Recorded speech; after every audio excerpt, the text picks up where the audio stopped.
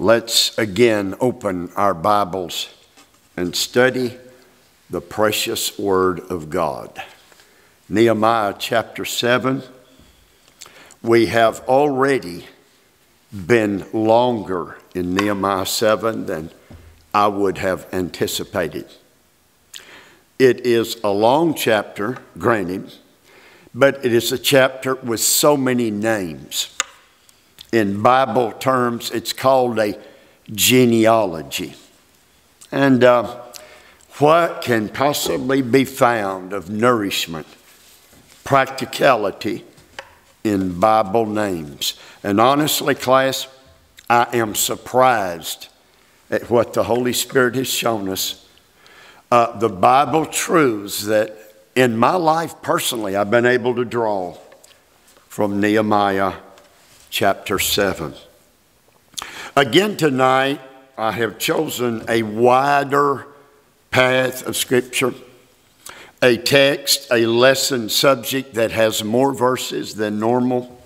Nehemiah 7 39, listen to this 39 through 60. Verses 39 through 60. And there's a reason for this.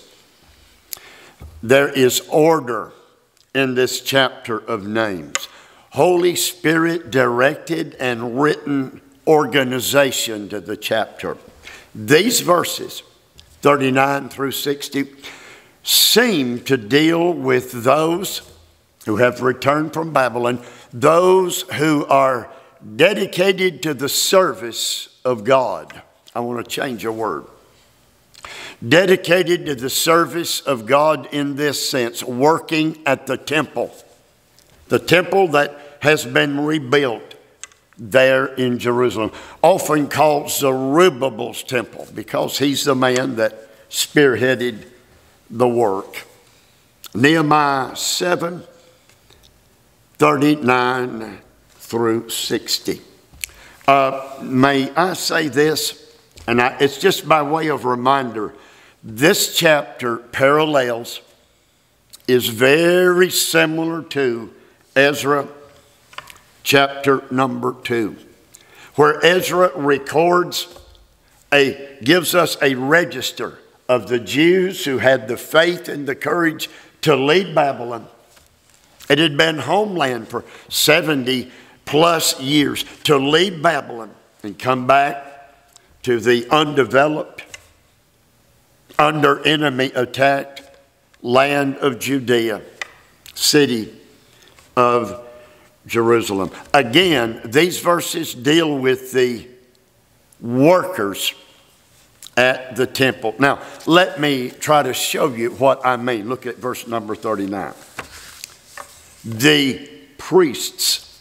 I mean, that's the first, uh, the second word uh, in the verse. It's the first noun in the verse. The priests. Here are the priests that came back home to Jerusalem, and uh, they will be qualified to minister and serve God, as I said, in the temple. I'll read you verse 39. And the priests, get ready now, uh, there will be a list. The children of Jedaiah of the house of Jeshua, 900 73 from that family among the priests returned to Jerusalem. Uh, that word, uh, Jedaiah, it's Yada and Yah, Y A D A, and then Y A H, and it means God, Jehovah, God knows. God knows. Jedaiah, what a beautiful name for a priest. Verse 40, the priest continued. The children of Immer, Immer, a thousand fifty and two. Preacher, this is going to be boring. Oh no, no, don't don't take that attitude yet. Uh, Immer, let me tell you what Immer means. It comes from the Hebrew verb amar, A M A R, and it means to speak, to talk. Maybe Immer is a good testimony, a good witness for the Lord Jesus Christ. Verse 41. The children of Pashur, a thousand two hundred 40, uh, let me say, I, I misread it, 1,247. And then the children of Harim means dedicated, 1,017. We begin our long paragraph with the listing of the priests who returned, and that's verses 39 through 42. Now, I'd like to say something about the priests who have returned. Number one, these priests are absolutely necessary for Old Testament worship. Uh, it is, it would be the priests who will receive the burnt offering, the little lamb, or if it's a very poor Jew wanting to come worship God, confess, get his sins covered, he could bring a little dove. If it's a rather well to do Jew and he wants to give God a superb offering, it'll be an ox, a bullock, if you will. You can't worship God without that priest being the, listen to this word, the go between. Listen to this word, the mediator between the sinner and Almighty God. There is no Old Testament worship without the priest. The sinner, the erring Jew, cannot go into the presence of God in the Old Testament. In fact, there's a curtain, there's a veil, there, there's more than one, uh, that separates him from the direct presence of God. Why? The veil is in place. Jesus has not come. The blood of the Lamb has not been shed. They did not have direct access to God. They had to have a priest. Can I say something? I hope I'm about to hear a hallelujah. In the New Testament, I don't need a professional priest. I don't need a so called clergyman. I, I, I, don't need a bishop. I, I don't need an overseer. I can go directly into the presence of Almighty God. I'm invited to come boldly before the throne of grace. Hebrews chapter 4 uh, in, invites me. Why? Because when Jesus died on the old rugged cross, shed his blood, as he was dying, as he was saying, It is finished, the veil of the temple ripped, rent in twain, and lost sinner because of the blood of Jesus now has access. That's why I pray in Jesus' name, has access, access to the very throne of an almighty God. Now, every believer is a priest. Not so in the Old Testament. These men had to come back. They had to, but now I'm a priest and you're a priest. Uh, uh, Hebrews chapter 3, verse number 1. I'm a priest.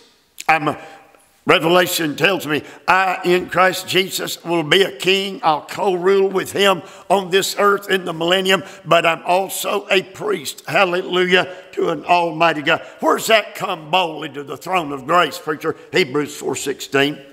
Where's that verse, the veil of the temple is rent in twain? Matthew 27, 51. All right, preacher, if we're priests, what about that idea of a high priest? Oh, oh, we still have a high priest. We still have a great high priest who represents us in and who is that? Hebrews chapter 3, verse number 1. Wherefore, holy brethren, partakers of the heavenly calling, you've been saved, consider the high priest of our profession, Jesus Christ. Consider the high priest of our profession, of our faith, Christ Jesus the Lord. We could go back to Exodus chapter 8. I'm not going to take the time too much to cover uh, verses 15 through 20. We, you will learn there was a shortage of uh, workers for the temple. And, and, Ezra had to, had to ask especially for workers for the temple. Oh my, in this day in which we live, we ought to thank God for our pastors. Thank God for our missionaries. Thank God for the evangelists and the Sunday school teachers and, and, and the deacons and, and the faithful people of God who serve God with all of their heart. The priests, and we had a list of them who returned to serve Almighty God. Uh, we need to read verse number 43. We've gotten that far.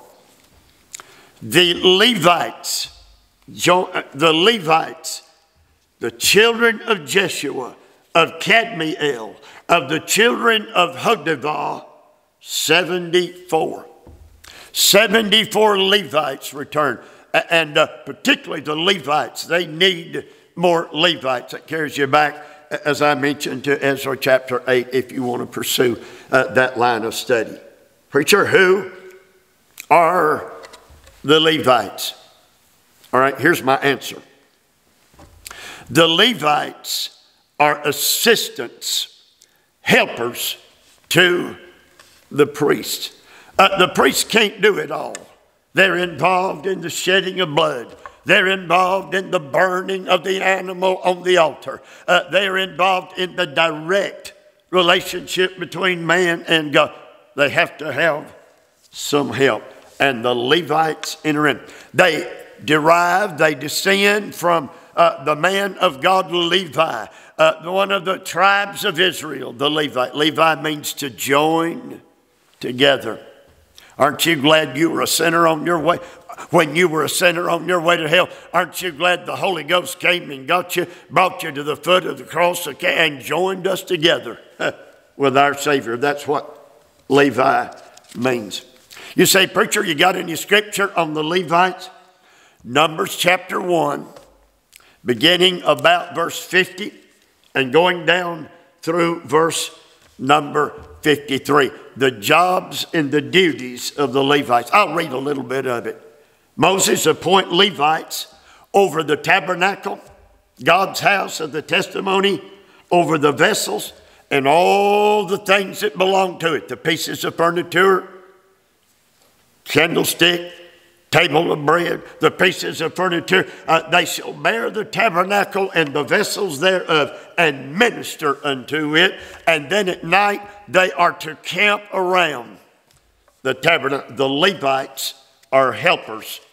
Get that word. They are helpers to the priest of these Old Testament days. And we need helpers for the men of God. Genesis chapter 46, verse 11 gives us the three divisions. Am I going into too much detail? The three divisions of the Levites. And the sons of Levi are Gershon, Kohath, and Merari, the three sons. And the Levites were divided under the Kohathites, the Merarites, and then, of course, uh, the Merari, the sons of Merari. And each had different. Uh, if you were with Gershon, you would carry the fabrics, the coverings of the tabernacle and the curtain and the wall that surrounded. If you were Merari, it's all in the. You were carrying the hardware for the tents, the curtains, the, uh, or the, the walls and the posts and the and and then of course the Kohathites uh, uh, they would carry everything by hand because they're transplanting the they're transporting the holy furniture of the tabernacle. My my my, how detailed the need for the Levites.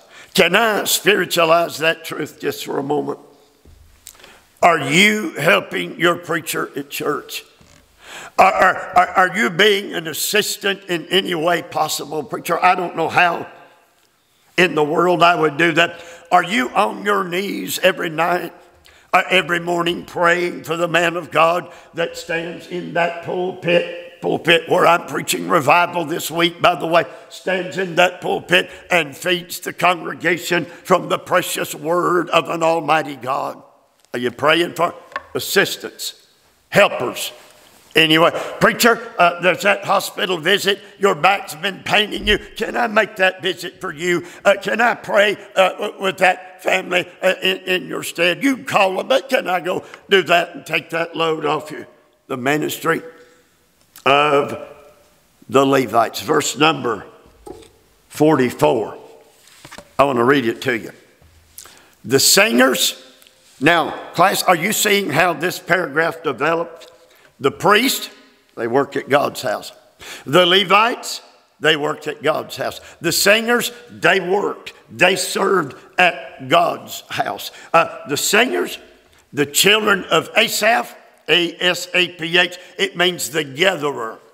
He gathered songs, he gathered the music, He, he, he gathered the other points of worship uh, in, in, music for the children of Israel. He's a gatherer. 148 of the singers came back from Babylon. That word for singers is shear. S H I Y R, pronounced shear. And get this, this is what it means to travel.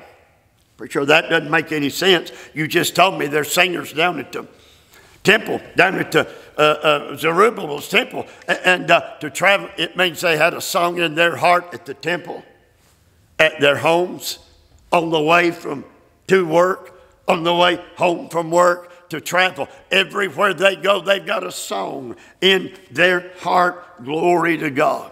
Now, in Babylon, not so much singing. Psalm 137, verse 1 When we were in Babylon, by the rivers of Babylon, we sat down and we wept. Not a lot of singing, we wept when we remembered Zion, where we had been, how we've sinned. We hung our harps, no singing. No playing, no music. We hung our harps upon the willows in the midst thereof. No singing in back, but now they're back in the Holy Land. Now they're back serving God, and there's joy unspeakable. There's a song down in there. Thank God for the singers.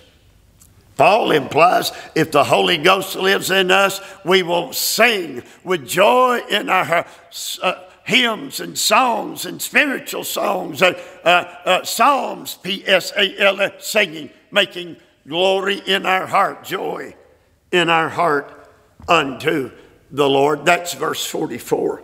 Verse 45, let's look at. Um, the Nethinims, the children of, I don't think I read all of verse 30, uh, verse 45. No, I, am getting mixed up in my numbers. Verse number 45. I did read all of verse 44. 45. I had skipped to 46 in my Bible. I don't know how I did that. The porters, the children of Shallum, the children of Ater, the children of Talmon, y'all can read it as well as I can, the children of Akkub, the children of Hatita, the children of Shobai, a hundred and 38. By the way, that word Akkub, A K K U B, hey, listen to it. Akkub, see if it sounds like Jacob. Akkub, Jacob. It is associated, it is linked, it's cognate with the name for Jacob, and it means supplanter one who wants to pull you out of the way and take your place. That's what Jacob was when God first met him. But he ended up being Israel, the prince of God. That's what the Holy Spirit can do in a life, can change you from a crook to a saint. Hallelujah to God. Uh, and preacher, can you tell me something about these porters? Two times. Two times. Now, this is in the King James Bible in our Old Testament. Two times that word for porters is translated doorkeepers. Doorkeepers. Being a doorkeeper, if you will, at the house of an almighty God. And it lists the doorkeepers. They're going to come back and open and shut the door at this church. They've done it for years. The gentleman who did it for a decade or two passed away. He's with the Lord. There's a new crop of gentlemen every night when I arrive for the revival. Tried to get here a little early last night to greet the visitors and, and tell them what our text is going to be. I like to do that. And, and, uh, and there's always a porter, there's always a doorkeeper, and he opened the door. Hey, preacher, good to see you tonight. Come on in the building. Doorkeepers. You say, preacher, is that mentioned in the Bible? Psalm 84, I think it's verse 10. Lord, a day in your courts a day at your house is better than a thousand. Lord, I'd rather spend a day at church than a thousand uh, days at the amusement park, uh, than a thousand days on, on the picnic ground. God, a day in your house is so sweet. So I had rather be a doorkeeper in the house of my God than to dwell in the biggest tent the wicked men own and possess uh, with all their lavish trade. I'd rather be a doorkeeper down at God's house. I'd rather clean the bathroom at God's house uh, uh, than, than I'll do it. I, I, whatever I can, just let me, I'll take the low, I'll be a doorkeeper at God's house. Preacher, that doorkeeper idea mentioned in the New Testament? Listen to Jesus. John chapter 10. It's the first paragraph. I don't know that I'll have time to read it all. Verily, verily, I say unto you, he that enters not by the door into the sheepfold, he's sneaking in. He's a, he climbs up some other way. He's a thief and he's a robber. But he that enters in by the door is the shepherd of the sheep. To him, the shepherd, the porter, that's the doorkeeper. The porter openeth, and the sheep hear his voice, and he calls his sheep by name, and he leads them out. There is a porter, there's a doorkeeper in Jesus' teaching in John chapter 10. And of course, there's always the question who is that porter? Could be the Holy Ghost, could be God the Father. There are different ideas, but my point there is a porter, there is a doorkeeper in Jesus' teaching there.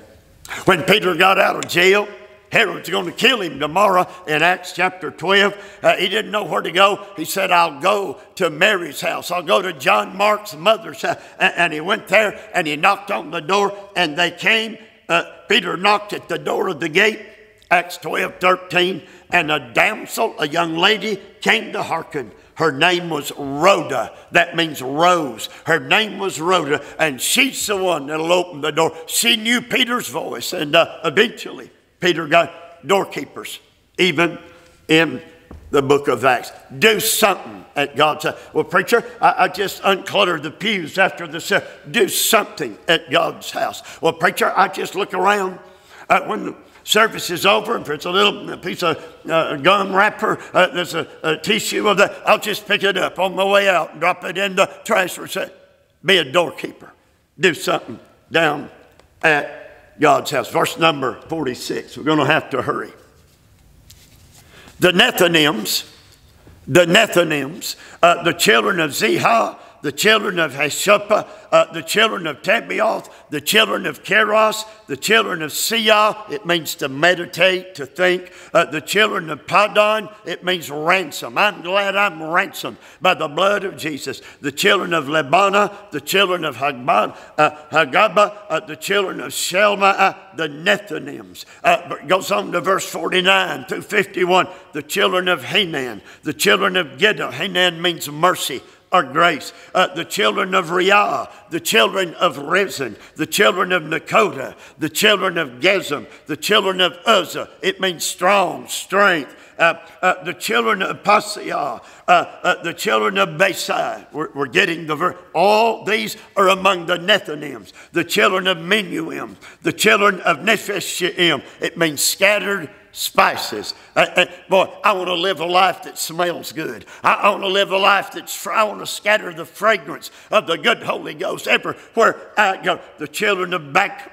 uh, back, the children of uh, uh, Cuba, uh, the children of Harhar, the children of Bazlith, the children of Mahiah. I'm just reading. The children of Harsha. It means silent. There's a time to be silent at church. Be still and know uh, that I am God. The children of Barkos, the children of Sisera, battle array. Put on the whole armor of God. The children of Tamar, the children of Neziah. It means to excel. I want to excel. I want to be the best I can for Jesus. The, the children of Hatipha, Hatipha. It means caught seized. I want to be caught by the Holy Ghost. I want to be seized and possessed uh, by the good. And these are the Nethinims. Preacher, who in the world are the Nethinims? Quickly. The word Nethinim, it, it's Natan, N A T H A N. Uh, it is a Hebrew verb that means to give. These are servants God gave to the Levites to help them with the work at the house of God. Watch this. They're the priests. Priests have got some helpers called Levites, and now the Levites have got some helpers called the Nethinims. The Nethinims. Preacher, who are they? Joshua 9 21, 9 23, again in 9 27. Uh, uh, labels them, they're Gibeonites there. I think they eventually become the Nethinims, uh, hewers of wood and drawers of water. They'll chop up the wood uh, uh, that will be used uh, uh, at the temple. Uh, offerings, burning offerings. they'll draw the water that is that maybe for the labor at, at, at the temple. They are temple servants that are serving those, it means set apart, given to God. They're doing the menial work, uh, uh, the, the heavy labor down at God's house. Uh, the Gibeonites, as I said, Joshua 9, seem to be linked to these people. They were assigned to help the living. I see all the way through this text, and they helped them. And they helped them. And they helped them. Oh, to be helpers. Oh, to be exhorters and encouragers in the things of God. Let me give you one more, if I can. Let me give you one more quick thought about the Nethinims, those that are given to serve, those that are even in spiritual gifts. In Romans chapter 12, there are the servers. Uh, there are those that do what they uh, are given to ministry, to serving, to helping others. God raise up a bunch of servers in this day. Uh, we don't need uh, Thank God for leadership, but thank God for fellowship and, and uh, servers. The idea, here's the word, of being an armor bearer. Preacher, what in the world does that mean? Being an armor bearer. It is used, the word armor bearer is used 18 times in the Old Testament. What is it? Here's the warrior, here's the captain, or for that matter, here's the prince, Jonathan uh, son of King Saul, he had an armor bearer. And uh, I'll carry your armor. You let me know when you need it, and I'll have it ready for you. Uh, and, and, Jonathan's armor bearer, when Jonathan was taking on an enemy army single handed, Jonathan's armor bearer said, I'll go with you. I'll join in the fight with you, Jonathan. And they, by God's grace and God's faith, they won a great. Somebody consider becoming an armor bearer for your pastor. Somebody consider becoming an armor bearer for that missionary God has laid on your heart. Preacher, what do you make? Pray for him. Give to him when you can. Uh, if you see a burden on your pastor, try to lift it if you can. If you see he's laboring under a heavy load, pray for him extra. Miss a meal or two, fast and pray. Be an armor bearer for those in God's service. Many a missionary has no armor bearer, no prayer warrior. Take it up take it, ask God to lead, take it up. For then I think I've read down through verse 57. And the children of Solomon's servants. That's the last group dedicated to the service of the house of God. The children of Solomon's servants. And they are uh, Sotai, the children of Sophereth, means to write. Every one of us is writing a book, our testimony by the life we live. The children of Perida, the children of Jalah, uh, the children of Darkon, the children of Giddel means great. Be a great Christian. Uh, the children of Shephiah, the children of Hattul, the children of Pochereth and Zebaim, and the children of Amon. And uh, all of the preacher who are Solomon's servants. Who are they? This is beautiful. They are helpers to the Nethinims. It is believed they are helpers to everybody's got a helper. Everybody needs some help. Everybody can be a uh, uh, these folks are helping me, but I can help the one uh, to whom I am uh, given opportunity to serve. They were probably inferior, here's a note, to the Nethinims, children of Solomon's servants. Uh, they are generally associated with them. They may have even been Canaanite converts to our Lord who were serving and doing all they could for the. Sounds to me like there's a lot of work to be done at God's house. And there's a lot of work for us to help our brothers and sisters grow in Christ as well. And then the last verse, and all the Nethinims, all the children of Solomon set them up 392. And 92. And doesn't that scream out, we need more helpers? We need more servants. We don't need pew warmers. We need some folks to get involved serving Almighty God. Why? For the perfect, Ephesians 4.12, for the perfecting of the saints, for the work of the ministry, helping saints grow, serving in the ministry for the edifying. It means to build up of the body of Christ. Be a helper, be a servant. Ask God, what can I do to further your cause today? Thank